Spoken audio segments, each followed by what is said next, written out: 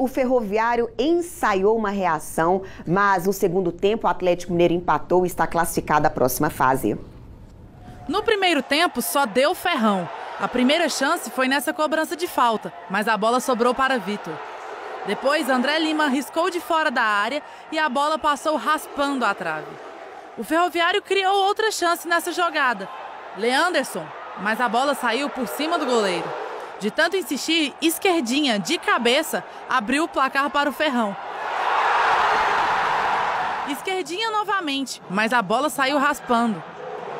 Depois do escanteio, a bola sobrou para Mazinho, que só mandou para o gol. 2 a 0 Ferrão.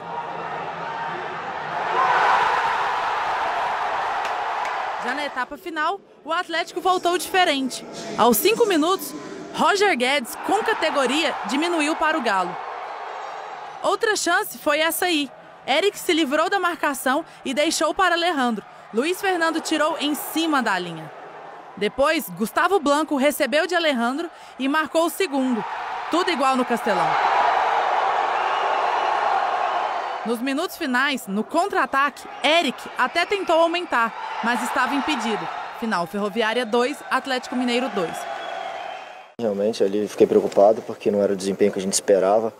É, a gente sabe que é, perdemos duas ou três oportunidades de gol ali, mas a gente precisava melhorar a marcação, que a gente não encaixou e sim foi, foi uma coisa que a gente mexeu no intervalo.